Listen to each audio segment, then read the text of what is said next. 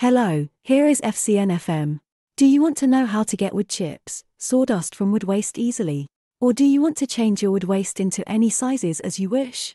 Come to see the Wood Crusher, also named Wood Chipper, Hammer Mill Crusher, which can help you to finish what you want. As a supplier, we can meet your demand about the machine, make it move, and control the size of wood chips or sawdust. If you want further information, just reach Chinese FCNFM team. More things made in China, more wood crusher machines made in China. If you want to know more, please contact us.